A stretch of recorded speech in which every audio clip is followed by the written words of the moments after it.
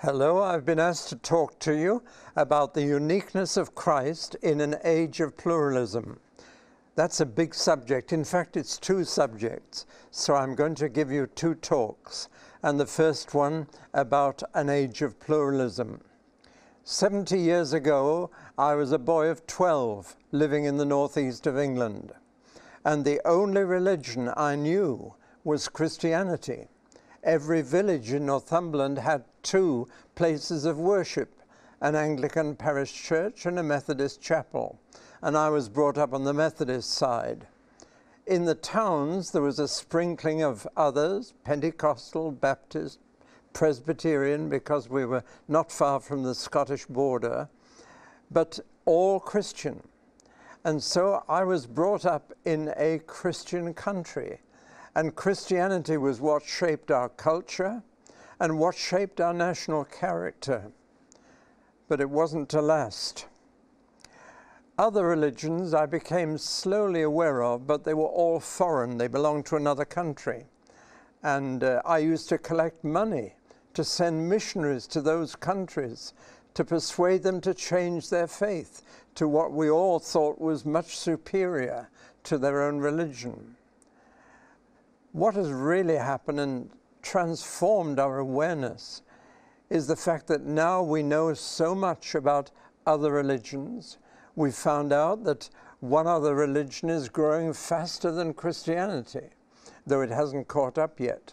If you had told me 70 years ago that one day I would write a book predicting that another faith would become the dominant religion in Britain, I wouldn't have believed you, but there's the book, The Challenge of Islam to Christians. When I was a boy of 10, there was only one mosque in the whole country. It's just outside Woking. You can see it if you go by train from Woking to London. Now there are hundreds. There are 120 Muslim schools. There are 85 courts in this country applying Sharia law to people living here. It's just transformed the whole situation. Here are some of the factors that have changed our awareness of other religions. First factor is immigration. After World War II, Britain threw open the doors to anybody from the Commonwealth who wanted to come and live here.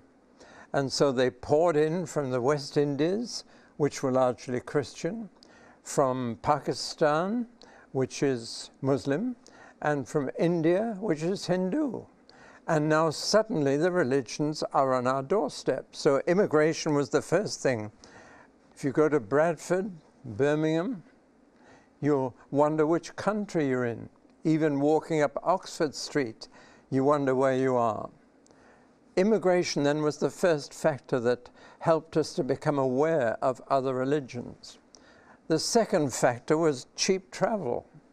When air travel became cheaper and we stopped going to Blackpool for our holidays and went to Benidorm and then further afield to Bangkok, now people take their holidays all over the world, and therefore we become very much aware that other countries have a very different culture and faith to ours. The third factor is media. Radio, television particularly, are now producing so many programs about other faiths that we are all becoming quite knowledgeable about other religions. And the fourth factor is education almost every school in Britain now is teaching what's called comparative religion. When I was a boy, they taught religious knowledge, and it was almost entirely confined to Bible knowledge. Mind you, I have to admit it was one of my worst subjects, and here I am a Bible teacher years later. But we were taught by a vicar who was more interested in cricket than anything else, so I never really got going in that field, but religious knowledge was Bible knowledge. And so we are now all very much more aware of other religions.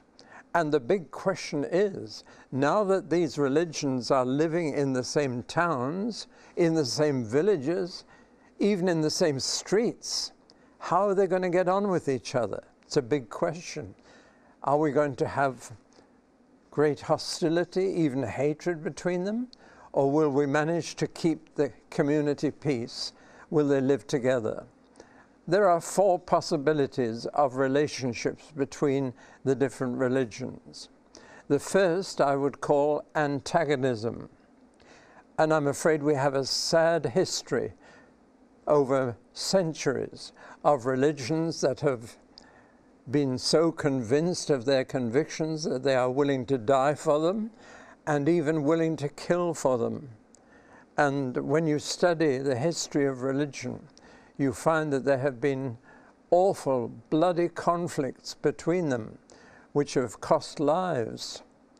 There have been conflicts between religions, between, for example, Islam and Christianity, the Crusades, the Inquisition, although it was the Muslims who first of all conquered by force and came right into Europe, right up to the gates of Vienna and right up to Poitiers in France before they were pushed back.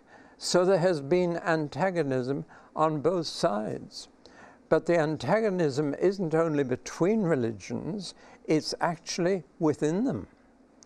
And within Islam, for example, we've had the dreadful conflict between Iran and Iraq, between two denominations of Islam, between the Sunnis and the Shias.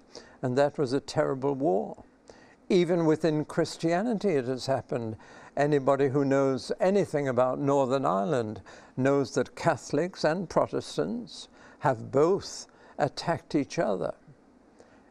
I've noticed that this only happens, this real antagonism only occurs where one religion or another gains an alliance with power, with economic power, political power, even military power.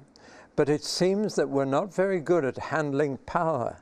And when one religion gains the power over another, or one variety of the same religion gains power over another, that conflict is inevitable. And this has been a very real fear in Britain, that the religions will not be able to get on with each other. I remember when immigration was at its height after World War II, and Enoch Powell, the member of parliament, made a famous speech that he anticipated rivers of blood in the streets by the influx of so many different cultures and the confrontation between different religions. It was called the Rivers of Blood speech. Well, that's the first possibility. It's the possibility of hostility and even hatred between the two.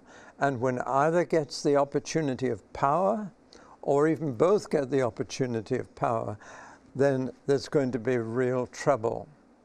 And of course, community peace, community harmony is one of the great desires of our age. None of us want to go back to the kind of conflicts that have cost lives. So what's the second possibility? That is the possibility of separatism, of keeping them apart from each other. That's very difficult to achieve when they're mixed in the same street or area. Nevertheless, some people say the way to keep peace between the religions is to keep them apart as far as possible. And following that through, that means a number of other things. First, it means the privatizing of religion to make sure that religions don't enter the public sphere so that uh, the thinking is anybody can practice any religion as long as they do so in private, keep it to themselves. And there is a strong move today to keep religion out of the public sphere, out of the media, out of politics, out of commerce, out of the public domain.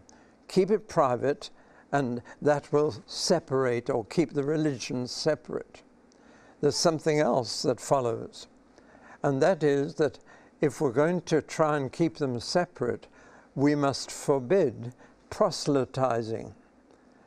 And this is uh, practiced in some countries, for example, Malaysia, The Christians are free to practice their religion. They are free to advertise their meetings. But if they do so, they must always include the words, not for Muslims. And in this way, the government there hopes to keep separate the religions, allowing freedom to practice, but it must be private freedom. The ultimate end of this thinking, separatism, is to produce ghettos. It's a strange word that. It comes from Venice, where there was an ancient iron foundry which was closed down, and the Jews of Venice were all herded into the foundry, which was called in Italian a ghetto. And that word has stuck ever since. And it means to encourage people of different religions to move in together into separate districts. This was behind the Bishop of Rochester's recent uh, pronouncement that there are now no-go areas in Britain, meaning that there are regions of one religion and others should not go into those regions or it would offend and upset the people living there. Do we want to see the cities of Britain in separate ghettos with one religion in one district, one, another in another, and so on? Well, it might bring peace. I had three children, we still have, but one's in heaven now. But the three children were constantly in trouble with each other. We could certainly keep the peace by putting them each in separate room and say, now go to your bedroom, each of you, and we got peace in the house. But it was a peace of a negative kind. What we wanted to see was peace between our three children when they were together, getting on in harmony. So we move to the third possibility. The first is a relationship of antagonism. Second, a relationship of separatism, keeping religions as far apart as we can. The third possibility is the subject of the title of my talk, pluralism. Now let's just examine what we really mean by pluralism. It isn't just plurality. Plurality of religion is the fact we've got different religions living in the same area. That's plurality. Pluralism is the idea that we want to see different religions living together. It's the belief that diversity is better than uniformity, that we want to encourage different religions and different cultures and become a multicultural, multi-faith society. And we now know, it's been revealed in the last few months, that behind the open immigration policy of our government, there was this idea that we welcome diversity and unity. It's a good thing because now we live in a global village. We're very much aware of living on a world scale. And it is the belief that local countries and even local communities should reflect the diversity of the whole world and demonstrate that we are now one world. Now that's the theory of pluralism, the belief that diversity is welcome, something we want to see. Along with that goes the idea of what we call an egalitarian society. In simple language, that means a society in which all are equal. There's been a tremendous stress on equality in the last few decades. Men and women must be equal. Black and white must be equal rich and poor must be equal. And relating that idea to religion, of course, it's the belief that all religions are equal, equal in value. They are all different ways to one God. That's the thinking behind pluralism. And therefore, that encourages religions to see themselves as part of a whole and different ways. And there is certainly a lot of practice in common between religions. Prayer is common to most of them. Fasting is another. And uh, most religions teach a way of life. an ethical or moral way of living. And so pluralism wants to see this all brought together so that uh, we respect each other and accept each other.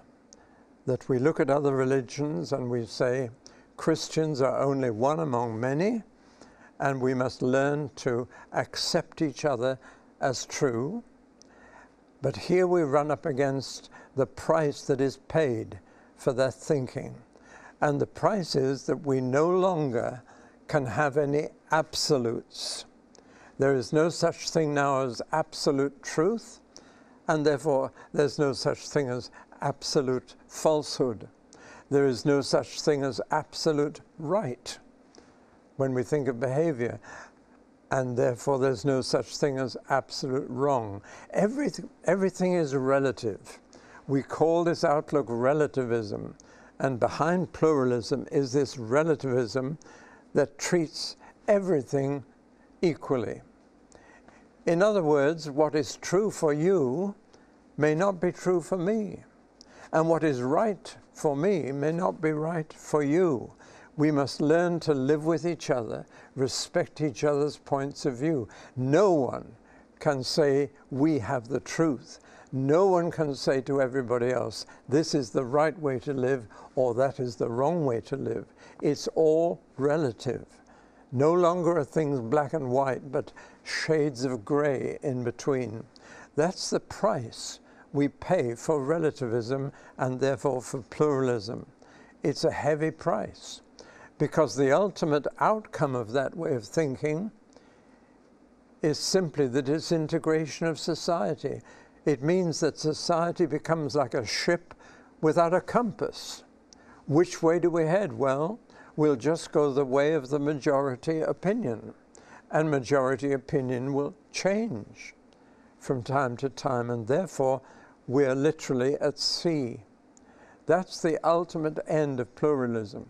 It does not ask the question, what is truth? It doesn't ask which religion is true. It doesn't ask which way of behavior is right. It says everybody's right, everybody's true, but you can only say this is true for me and not for anyone else this is the behavior that is right for me. And therefore, absolute standards give way to political standards. And so, political error becomes more serious than moral ever, error. Political correctness becomes the guideline, but that will change from society to society and from age to age. It is not a reliable guide. We need, all of us, some objective guidance. What is true in our beliefs and what is right in our behavior? That's the third possibility, and it is widely accepted today. The fourth possibility of the relationship between the religions is what we call syncretism.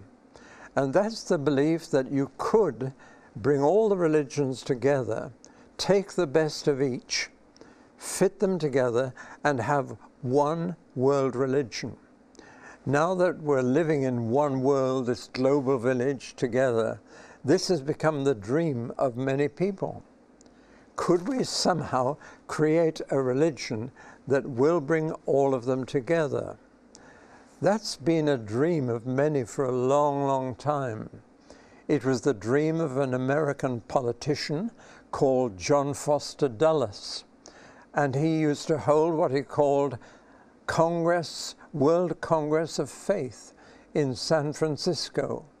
And the aim there was to bring all the religions of the world together into one so that we can have one world religion and that will hold the world together.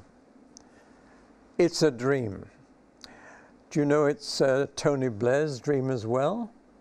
He has laid the foundation of what he calls the Faith Foundation, and he said, I will dedicate the rest of my life to uniting the religions of the world together. He's only the last in a long line of people. we can go right back to Muhammad. Now, when Muhammad fled from Mecca to Medina, he came into a community where there were Jews and Christians, and he approached them with what he called a common word. And he said, We all believe in one God. Why don't we get together? Why don't we have one religion that could become the religion of the whole world? The Jews and the Christians declined the invitation when he offered it so many hundreds of years ago. But that invitation has been renewed about two years ago when a whole lot of Muslim scholars have produced a second common word, as they call it. And that common word has been given to Catholic Christians and evangelical Christians hoping for a coming together of the different faiths. The Catholics are still considering that, but the evangelicals have responded positively to that appeal. Among them, well known evangelical names like John Stott and George Verwer and Brother Andrew and many another who have signed up to respond positively to this approach. So again, there is a hope emerging, and this time coming from Islam again, that we will become one religion. Well, there have been many other attempts. One was uh, an aim to do that, and if you go to Haifa in Israel today, there's a magnificent uh, building with a golden uh, dome up on the hillside with magnificent gardens around it. It's the center of the Baha'i faith. Now, the Baha'i faith aimed at bringing all religions together into one. All they've done, actually, is to achieve yet another religion, the Baha'i faith. But nevertheless, that was their origin and their great hope that it would happen. Now, let's look more closely at this because this is the stage we're at. This country is moving beyond pluralism. We don't want antagonism. We can't practice separatism. We were into pluralism, believing that it was a good thing to have all these religions and cultures together. But now we are moving into the fourth stage of syncretism. This idea that somehow we can match one world with one religion in it somehow bring them together. And so we are seeing services of worship in cathedrals with all the religions in our country taking part, each reading from their own scriptures, each wearing their own robes or special dress. And so we're into this syncretism phase now. Let's say straight away that we will never be able to syncretize our beliefs. Our beliefs are so contradictory to each other that you cannot combine them. And therefore, we can never bring religions all together into one on the basis of our beliefs. Let me just illustrate that. If you ask some very simple questions, the answers will be so varied and so contradictory that the impossibility will emerge. For example, simple question, how many gods are there? And immediately you will get inconsistent answers to this very simple question. Judaism will say one. Islam will say one and it came as a protest to the 360 gods that the Arabs of Arabia were worshipping before Muhammad uh, simplified their religion. Hindus will say up to 30 million. Buddhists will say none at all, because Buddhism doesn't believe in God. It believes in a way of life. And so we could go on. What's the answer? Christianity comes up with a totally different answer that God is both one and three, and that He is three persons in one. And that's a unique answer, but it's totally different from every other religion. So, how are we going to get religions together when they give such a different answer to a very simple question. There's another simple question What kind of God is God? What's He like? Does He have feelings like we have feelings? Is He kind or cruel? Does He care about us or is He indifferent to us? There have been so many answers to that simple question. In fact, recently a Gallup poll in this country said, asked, Do you believe in God? And 66% said yes. But that's an irrelevant statistic. We need to know which God you believe in and what kind of God you believe in. I believe that last question is the most important of all because on that answer will depend our whole relationship to God. What kind of God are we trying to relate to? What is He really like? So, at the level of belief, there's no chance whatever of getting the religions of the world together into one, as syncretism desires. So the question then arose then what other basis can we bring them together on? What foundation could we lay? And here we're getting a most surprising answer today. Not on beliefs, those are so contradictory that I would summarize that by saying all the religions of the world could be wrong, but only one can be right. When the beliefs are so dissimilar, all of them could be wrong, but only one of them could be right. So we must find another basis, goes the thinking of syncretism. And that basis being found in behavior. We could unite the religions of the world and get them into one religion if we focused not on their different beliefs, but on their similar behavior. And that is now the great pressure on us to come together into one religion on the basis of what are called values. I'm sure you've heard that word recently. It's becoming very, very common. Let's bring the religions of the world together on the basis of their values. Take one example. I switched on the radio last Sunday morning, and the first item I heard was a nun pleading with the different religions of the world to get together. In fact, it's, this week is a multi faith week. And she was saying, we all agree on compassion, pity for those who are less fortunate, and the willingness to do something about that. That's how she defined compassion. And she said, all religions preach and practice compassion. Here is the uniting point that could bring us all together into one. That's the argument. Forget the different beliefs. Let's get on with the united behavior.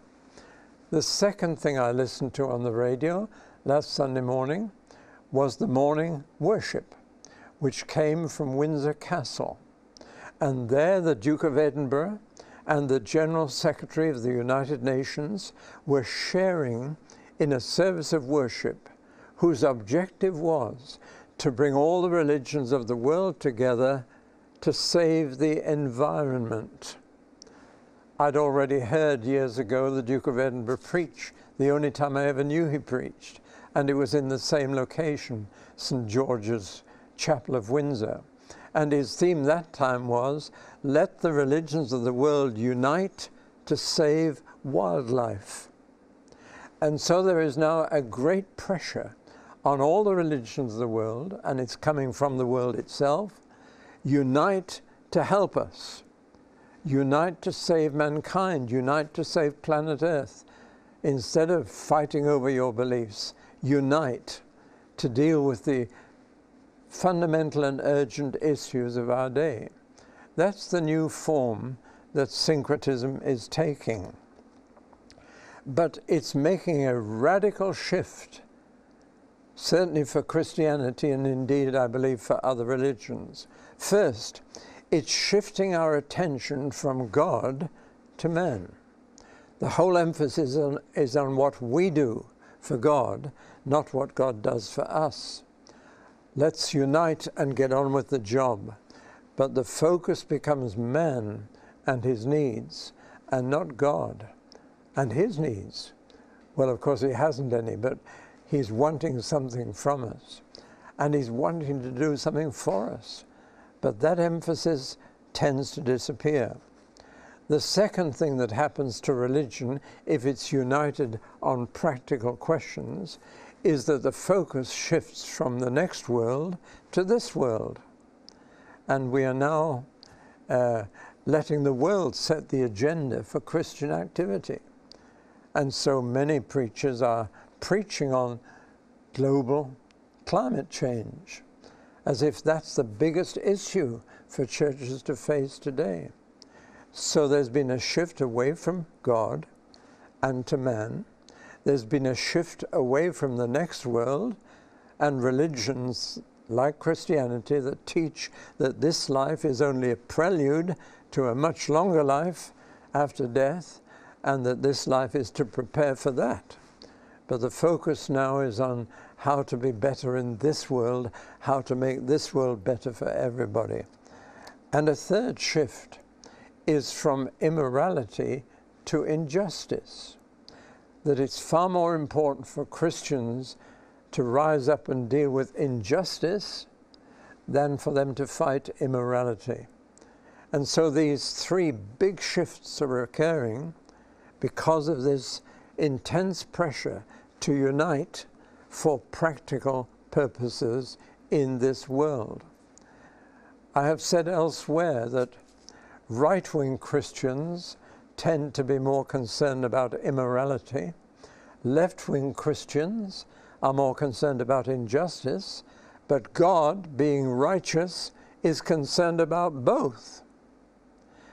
He's concerned with our personal morality. He's also concerned with social justice. He's both. And therefore, neither right wing Christians nor left wing Christians can claim him as total supporters of their position. In fact, he's both, so we must be both. But it's so much easier to get fired up to deal with injustice for others than to get enthusiastic about morality for yourself. One is individual, the other is corporate. Well, now that's syncretism. It's against that backcloth that I want to begin to speak about the uniqueness of Christ. The simple fact is that Jesus Christ cannot be fitted in to any of those four possibilities. He is so different, so unique, that he cannot be fitted in. And that makes Christianity an exclusive religion and an inclusive religion. That sounds a contradiction, doesn't it? It's exclusive because Christ is so unique that he cannot be linked with any other religious founder, with any other focus of any faith. He stands alone and by himself. Uniqueness means only one of a kind and he is one of a kind and the only one. And I'm going to go through some of the things that make him quite unique. But it means that his religion is not only exclusive but inclusive. It is a religion for everybody, for the whole world. Now, of course, we have before us two religions which have a global ambition. Islam believes that one day the whole world will become Muslim and Allah will be the only God there is. They have a global ambition. So has Christianity, but a rather different one. They believe that Christ told us to go and preach to every creature, to make disciples of every ethnic group. And therefore, Christians have a duty an obligation, a mandate to gain to go and preach in the whole world. They believe that Jesus died for Muslims, for Buddhists, for Confucius, for Shintoists, They believe that Christ is relevant to everybody. Now, here you've got two religions, both of which are global in their thinking. That's going to prevent syncretism. It's going to prevent separatism. It's going to prevent a lot of things. But that's all based on the one fact that there is nobody else like Jesus. There never has been, and there never will be. So let's begin to run through some of those things which are different in Jesus from everybody else, that separate him from Muhammad and Buddha and Confucius, that put him in a category all by himself. The first thing is the way he came into the world, and that was extraordinary. He was the only person, well, not quite, but he was a person who came into this world without there having been an act of sexual intercourse. Mary, his mother, was a virgin when he was born. She had never known men. That cannot be said of anyone else except that a professor of gynecology in London University told me that there have been some other virgin births. That the human egg, the ovum in a woman's body has been known to begin to divide spontaneously without being fertilized. It's a, a, scientific process known in nature called parthenogenesis, where sexual fertilization is not necessary for a life to be produced. So there have been, this professor told me, maybe half a dozen other cases of babies born to a virgin. But in every single case that he knew about, he said the result was a girl. And that's because every egg in a woman's body is female. It is only when a male sperm gets into the picture that the possibility of a boy comes. And so there may have been other virgin births through this spontaneous division of an egg in a woman's body, but it was always a girl. Mary, however, produced a boy, and that in itself betokens a miraculous intervention on the part of God. Mary could not possibly have produced a boy by herself. But there's more than that to it. Mary's birth was normal. Jesus' birth was normal. Some hours of labor, and the boy was, baby was produced. What was abnormal happened nine months earlier at the conception. That's when the real miracle happened. So Jesus' birth was normal, except as one gynecologist pointed out, Mary's hymen was pierced by a male from the inside rather than the outside. That's the only difference in his birth. But in his conception, nine months earlier, there was a supernatural event which has never happened before or since. It makes Jesus unique. Now, intriguingly, Muslims accept the virgin birth of Jesus quite different from what they believe about Muhammad's birth, which was quite normal. Muslims actually accept the virgin birth of Jesus from Mary, but they don't accept one thing about his birth that is absolutely different from every other human being, and it's this. He chose to be born. Nobody else chose to be born. You didn't choose to be born. I didn't choose to be born. I didn't choose my parents. I couldn't. I didn't choose the social level at which I would uh, live. But He did. He chose to be born. Now, that no other religion will accept, but Christians believe it. Later in life, He never said, I was born. He always said, I came. I decided to come. He then sent, said again and again, I was sent by God my Father. Now, these two words, came and sent, are the basis on which I say that Jesus was the only human being who ever chose to be born and live in this world. It was a deliberate decision. And on numerous occasions, he told us why he had made that decision. What was his purpose behind the choice to become a human being like us? We then move to his boyhood. And once again, we have a unique glimpse. Considering that Jesus is probably the best known person who ever lived, we know hardly anything about the first 30 years of his life. It's an astonishing veil has dropped over his earlier life. Right until the age of 30, we know nothing except for one little glimpse into his life as a boy. Every Jewish boy at the age of 12 undergoes a social transition from being a boy to becoming a man. They call it the bar mitzvah. It's a proud moment in a boy's life when he's treated from then on as a man, as an adult. And usually, the principle is that he leaves his toys behind at 12 and he becomes a partner in his father's business. That's what happened to Jesus. In those days, the way they traveled needs to be mentioned. The women always traveled first, walking 15 miles a day, and then they would set up the camp, cook an evening meal, and the men would come along at leisure, have the meal, and go to bed in the tents.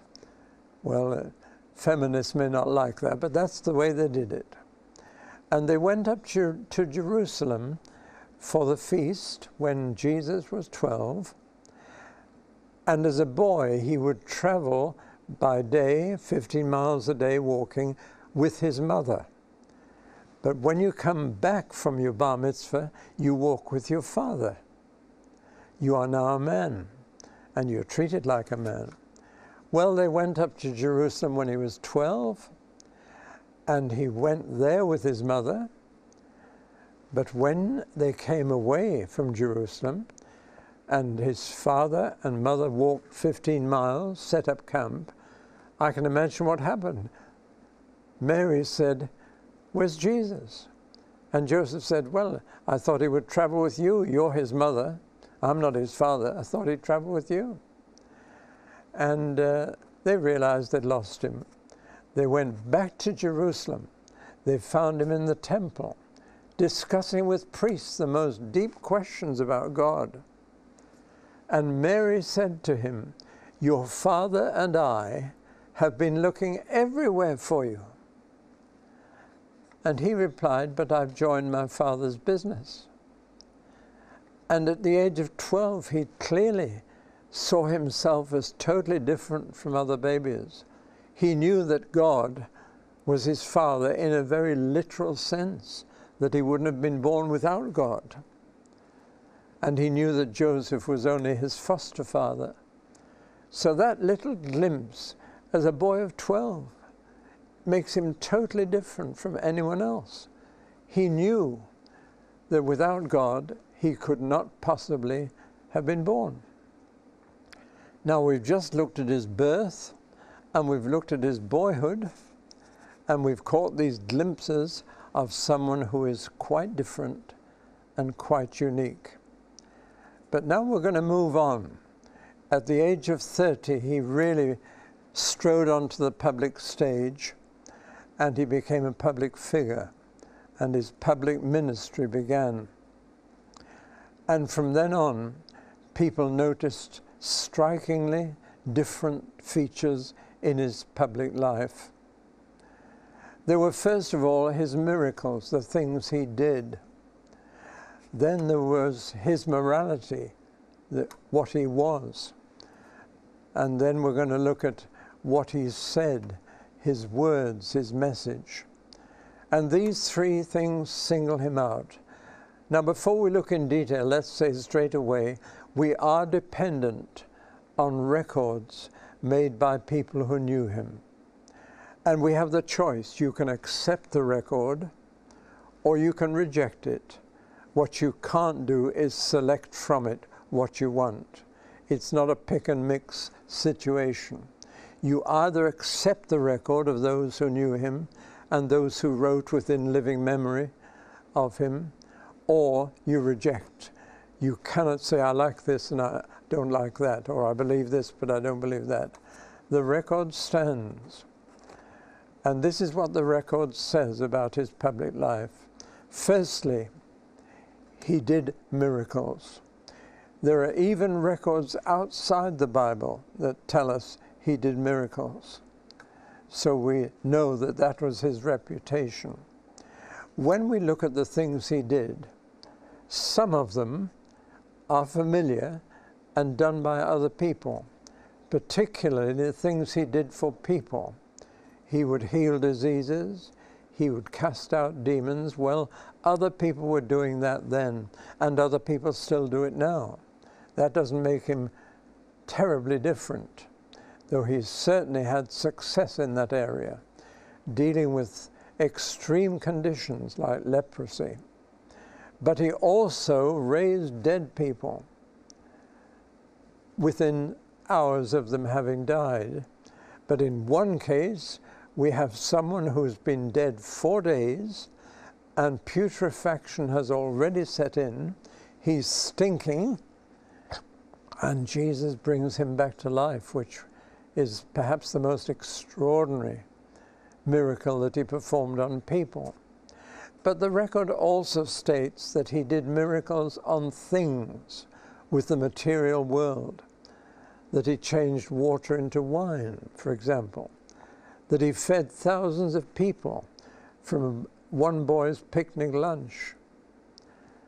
Above all, that he controlled the weather by word only, without any apparatus, without any help. He commanded the weather to change and saved his disciples from drowning. On another occasion, he came to a fig tree, hungry, hoping there'd be some figs on the tree. There weren't. And he cursed the tree. And next morning, not a leaf on the tree. The tree has died. The wood has just lost its sap. And all of these things he did with a word only. Now we must either accept the record or reject it. We can't say, well, this was a psychosomatic activity we must either accept or reject the record. But I'm telling you what the record is. When we turn from what he did to what he was, we're looking at something very different. It is astonishing that nobody, but nobody, has ever been able to criticize Jesus for doing wrong. That's an astonishing thing. It was the testimony of himself. He said to his worst enemies, Which of you can find a sin in me? Now, I wouldn't dare say that to my best friends. To say it to your worst enemies is unique. And they were silent. They could not find it. We live in a day when it's become the custom to dig out dirt of people who've lived before, find some secret in their life, some conspiracy, some something bad. And there are so many programs on TV or articles in the tabloid press telling us this person was not so good as everybody thought they were. And we've managed to dig up some hidden information, some sleaze. Nobody has ever been able to do that with Jesus. They've been able to do it with other founders of religion, but not with him he literally was perfect. And that has been acknowledged by not just by Christians, but by many other people who just could not fault the way he behaved. So we have two remarkable things about Jesus. We have first the miracles he did, second, the morality he lived, what he was, and that was so unique that even people who lived alongside him slept in the same room, ate at the same table, just felt dirty. One of his closest friends says, Get away from me. I'm a sinful man. You shouldn't be mixing with the likes of me. That was their reaction. When you meet someone who's totally pure, totally moral, it makes you feel ashamed of yourself. And that's the reaction that Jesus produced, even in those who knew him so intimately, who lived with him for three years, that was still their reaction. So that raises a huge question about Jesus. And the question is this How come a man who only did such good things for other people and who lived such a good life was, after only three years, executed as a dangerous criminal? Everybody knows those facts. Everybody knows that within just three years, he was hanging on a cross, and he was there because he was regarded as too dangerous to be allowed to live any longer. How come? Mind you, Socrates, one of the Greek philosophers, had said years before if ever a perfect man enters the world, he'll be killed. He realized that a really good person would be such a challenge to the consciences of everybody else that they would hate him for it. And sure enough, that happened. But we still have to explain why did the authorities of his own people regard him as such a dangerous criminal? As uh, one of his friends, Peter, was later to say, he went about doing good. And he was good. He did good and he was good. So why on earth did they put him to death so quickly? Well, the answer lies in what he said, not in what he did, not in what he was, but in what he said. And it's when we look at his teaching that we realize why he could not be allowed to live. Well, you can divide his teaching up into two parts. There was his teaching for others, teaching others how they should live, and there was the teaching about himself. And it was the last part that really caused his death. His teaching for other people has been acknowledged widely as the highest moral teaching there has ever been. Even non Christians admit this. And people have said the Sermon on the Mount is the finest morality you will ever find. And if only the world lived out the Sermon on the Mount, it, this world would be the most wonderful place for everybody. The only problem is it's a very difficult standard to reach, very difficult for human nature to react Jesus' way. For example, he didn't allow any revenge or any retaliation, any resentment towards people who abused you or offended you. Now, it's very hard for human nature to reach such a height. He said, You mustn't only not murder people, you mustn't even think they're a fool. You mustn't even hate them in your heart because that's murder already. He said, You mustn't commit adultery, but he said, You can do that in your heart. You can do it by looking at a woman and lusting after her. And he said, You can even do it legally by divorcing and remarrying. Now, these standards were so high that people have acknowledged this is the finest morality the world has yet heard of, but it's impracticable it's impossible. Two people who greatly admired Jesus' moral teaching were Mahatma Gandhi in India and Dostoevsky in Russia. And they said, This is how we ought to live. If everybody lived this way, we would have no problems in human relationships. And of course, Gandhi practiced the non-violence of the Sermon on the Mount and achieved a great deal by so doing. But Gandhi was not perfect. He didn't live up to his own teaching, nor did anybody else. I think Jesus is the only one who has ever lived up to the highest moral teaching he gave others. But it's what he said about himself that created the biggest problem. He made claims for himself that nobody else has ever made or could possibly make. And we're going to look at some of those claims in depth because this is what makes Jesus absolutely unique.